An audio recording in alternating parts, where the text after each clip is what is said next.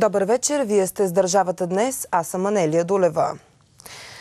Ако свържете двата закона, единия за връщане на надзетите субсидии и другия за въвеждането на субсидия от един лев, свързани заедно, се създава една политическа общност, която да е зависима от олигарси чужди държави, посредством неправителствените организации или поставени лица. Това означава удобна политическа общност, в която може да управляваш. Това заяви в сутрешния блок на телевизия Алфа народния представител от Атака Николай Александров. Първият закон, който е закон за политическите партии, т.е. за връщането на взетите субсидии, има своето развитие от едно телевизионно предаване в една национална телевизия mm-hmm. и съответната обратна реакция от страна на Министерски съвет. Той беше внесен на 28 май, само два дни след евроизборите. А, да кажем, че той е по-логичен. Втория закон, изменението на закона за държавния бюджет или въвеждането на субсидии от 1 лев беше доста нелогичен ход. А пак казвам, голяма част от журналисти ги разглеждат като самостоятелни. Аз ги разглеждам като едно цяло. Ако ги свържете обаче, означава точно това. Създаване на една политическа общност, която да е зависима от олигарси, да е зависима от неправителствени организации, да е зависима потенциално от чужди държави, посредством неправителствените организации mm-hmm. или посредством поставени лица. Това означава създаване на удобна политическа общност, в която ти може да продължиш да управляваш. Или може да управляваш, да векуваш, да се казва. В, а, мисля, че правилните термини на политически език това са тоталитаризъм, а, авторитаризъм и така нататък, диктатура. Това, това са случаите, в които се убива политическата система с цел да може да се запази дадено статукво. Аз пак казвам, много ще ми бъде интересно и какво ще възпроизведе това изменение на закона за субсидиите, т.е. на държавната субсидия, тъй като и това, което съм си говорил с колеги в парламента, и това, което неформални разговори сме водили, да голяма част, да не кажа, че всички са на мнението, че не е нужно да има субсидия от 1 лев. Защото практически субсидия от 1 лев е равна и на 0 лева. Ако обаче нямаш механизъм, с който се финансират политическите партии, пак се връщаме на този, който вече изборихме няколко пъти. Олигарци, НПО-та, да. чужди държави. Това означава естествено слугинаш в полза на някой друг, не на народа, спазване на идеи и концепции на гърба на народа, нали, които са против неговата воля. Ако съм кмет на София, ще спра веднага гей парада. Ще преустановя тези шествия, които са дразнищи и срещу които се изказа вече Българската православна църква. Това заяви лидерът на атака Волен Сидеров в интервю за агенция Блиц. Според него гей парадите са излишни, дразнят и не може да се натрапва директно и публично такива антихристиянски вярвания. Националистът направи сравнение, че ако някой направи демонстрация против ценностите на ислама, ще стане страшно. На всеки 15 метра стоеше полицай. Констатира Сидоров и посочи, че това са огромни ресурси, за да бъде охранявана една антихристиянска демонстрация.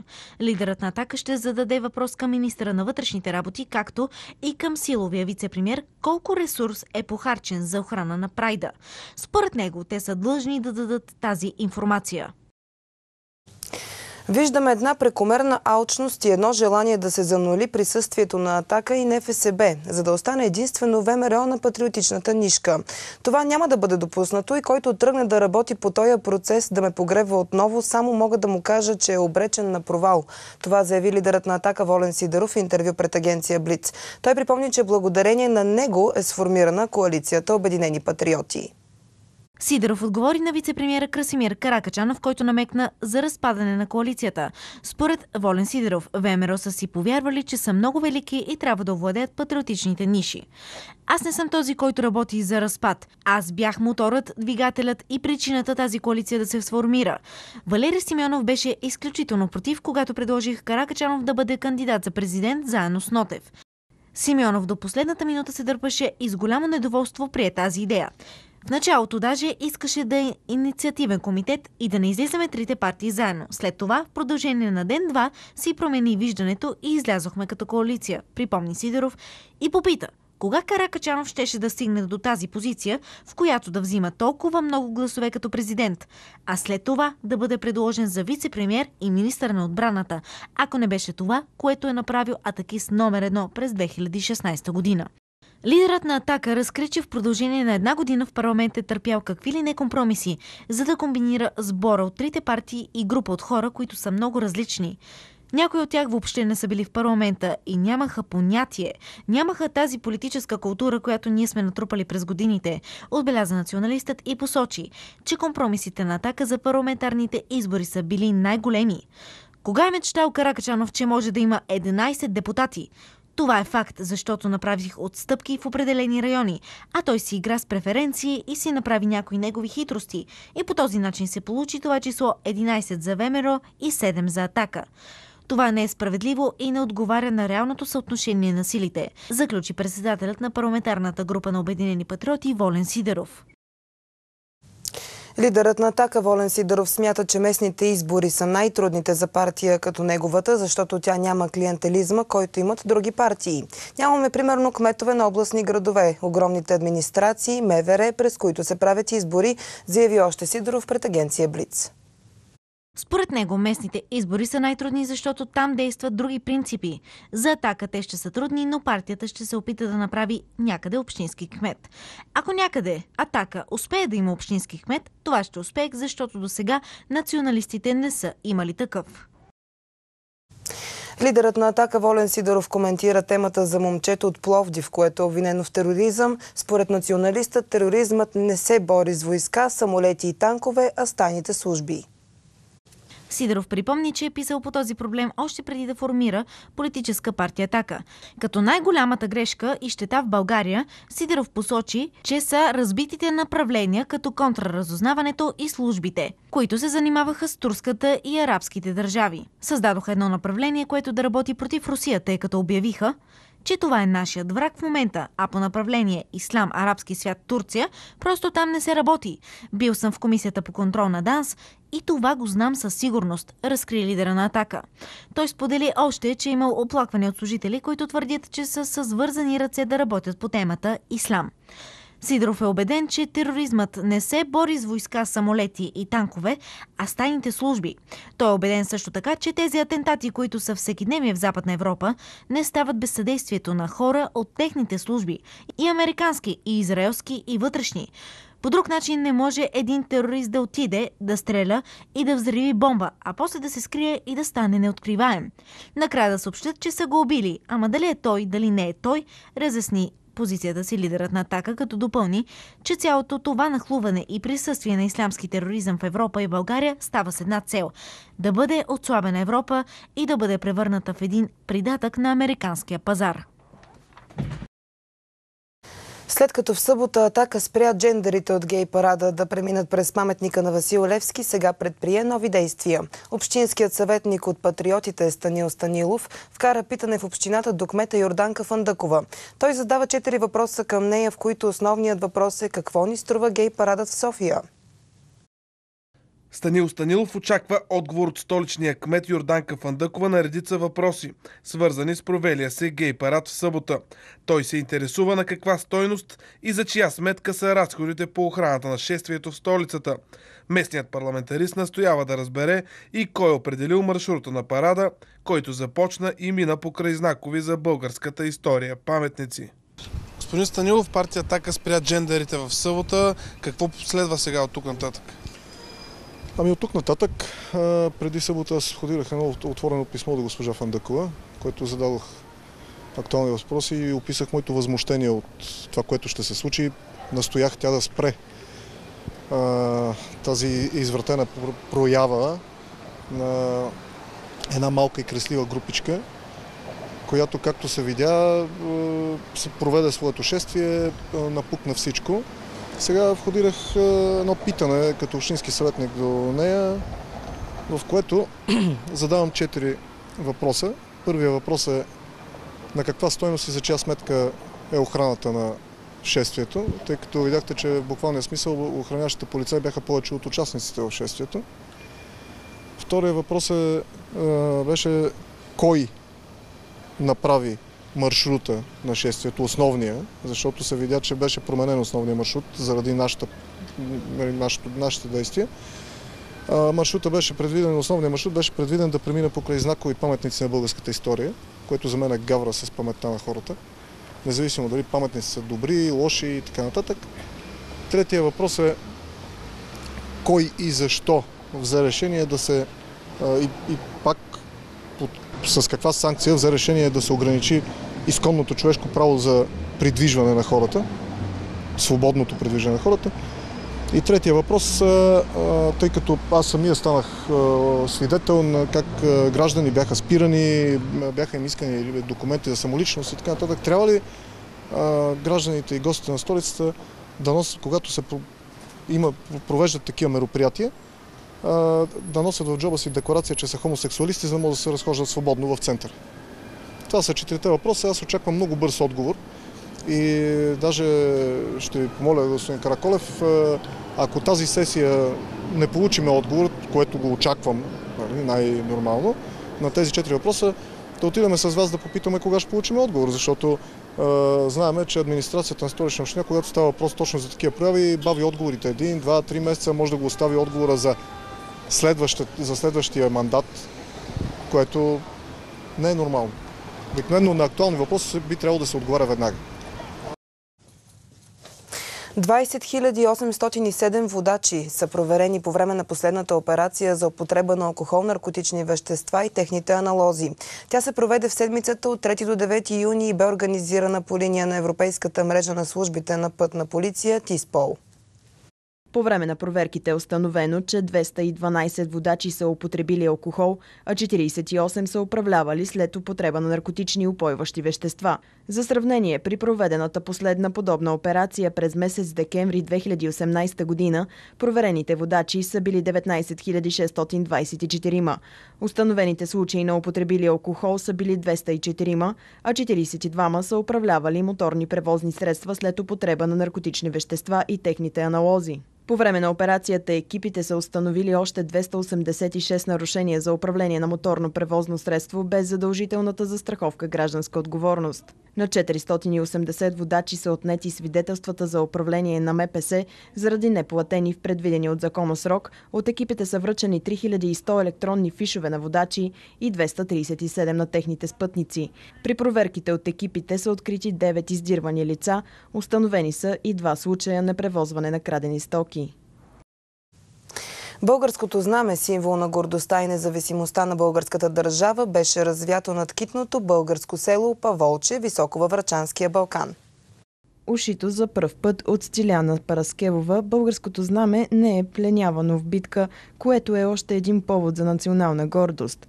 Огромният български флаг с размери 25 метра дължина и 4,5 метра ширина краси полите на Величествения Врачански Балкан под връх Околчица в почет към Христо Ботев. В началото на юни врачани почитат подвига на големия революционер и поет и неговата чета в борбата им за освобождението на България от турско робство. Българския флаг беше развян по инициатива на младежите в селото. Жителите на Паволче поздравяват всички граждани на България и апелират да носим с гордост българското в душите си.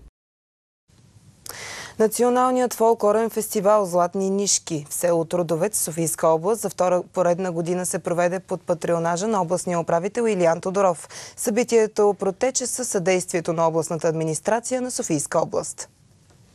В фестивала участие взеха детски юношески танцови състави, любителски школи и клубове, изучаващи български фолклорни танци. Грамота от областния управител получиха победителите и участниците в надпреварата. Националният фолклорен фестивал Златни нишки в село Трудовец се провежда за втори път, но вече дава своя съществен принос за съхраняването на българските фолклорни традиции и разпространяването им сред децата и учениците. Северноатлантическия съюз не е имал основания да атакува Сърбия през 1999 година. Това заяви сръбският президент Александър Вучич в Белград по време на пресконференция с заместник помощник държавния секретар на Съединените щати по европейските и евроазиатските въпроси Матю Палмър съобщават аз. Погледнете само отношението на американците и нивото.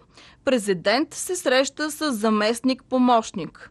Това само по себе си е скандално. Въпреки, че американците се стараят да зачистят цялата територия на Балканите и да въвлекат всички страни от Балканите в НАТО, пред очите на сърбите са все още хилядите цивилни жертви и разрушенията, причинени от тези, които сега с всички сили се опитват да ги привлекат, докато Вучич се опитва да държи балансирана външна политика. По време на изказването си Вучич отново говори за събитията от близкото минало. Позицията на НАТО преди 20 години бе неоправдана. Мисля, че нямаше достатъчна причина за агресия срещу Сърбия.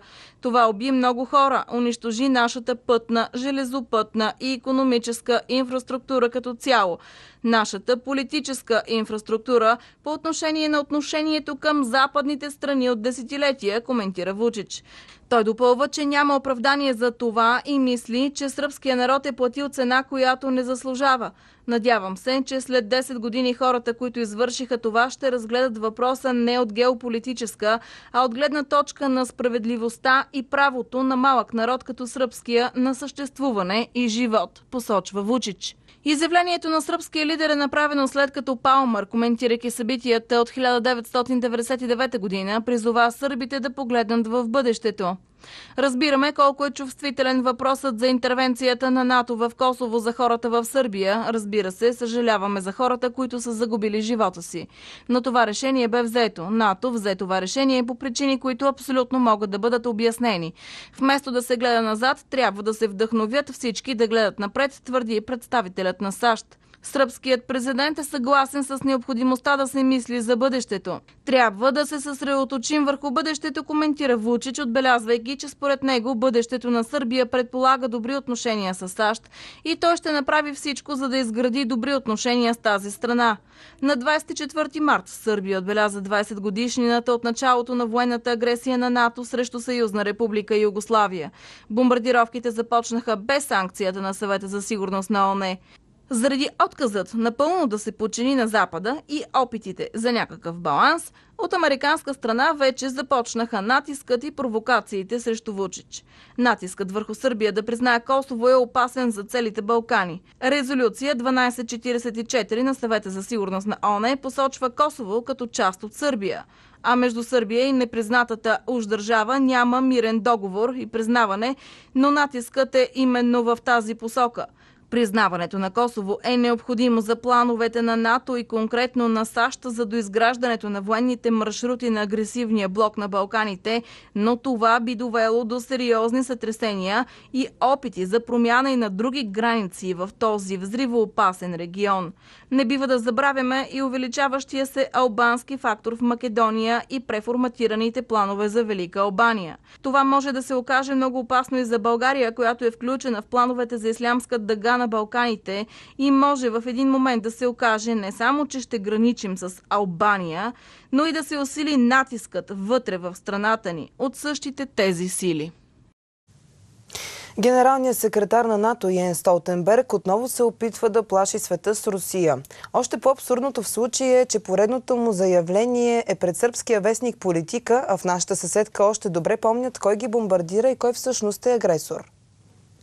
Столтенберг говори, че някакви агресивни политики на Москва били сред основните рискове пред сигурността на международната арена – но някак си пропуска да спомене, че именно Алианса провокира Русия, като не само я обгражда с военни бази, но и постоянно провокира с редица полети на американски бомбардировачи край руските граници и планове за разполагане на нови въоръжения в Европа. Столтенберг добави, че уж в отговор на заплахата НАТО предприема най-голямото приспособяване на колективната отбрана от студената война на сам.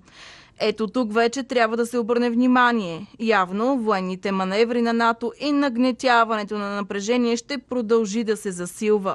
Изказването на Столтенберг е на фона на растящото напрежение между САЩ и Русия и плановете на НАТО за разширяване на военното присъствие на източния фланг на Алианса за противопоставяне на Русия. Припомняме, че именно в нарушение на договореностите НАТО се разшири на изток, обграждайки и заплашвайки Русия, докато крещи за мнима руска заплаха. А прелитанията на американски ядрени бомбардировачи край руските граници е откровенна провокация срещу мира. Опасни са и плановете на НАТО за приемане на нова стратегия в ядрената сфера. Разполагането на нови американски въоръжения в Европа пък превръща всички нас в мишена на възможен ответен удар от руска страна. Това бяха и по-важните новини до този час. Вие останете с програмата на телевизия Алфа. Не пропускайте и предаването на жълтите павета, което започва след малко. От мен и целият екип, спокойна вечер!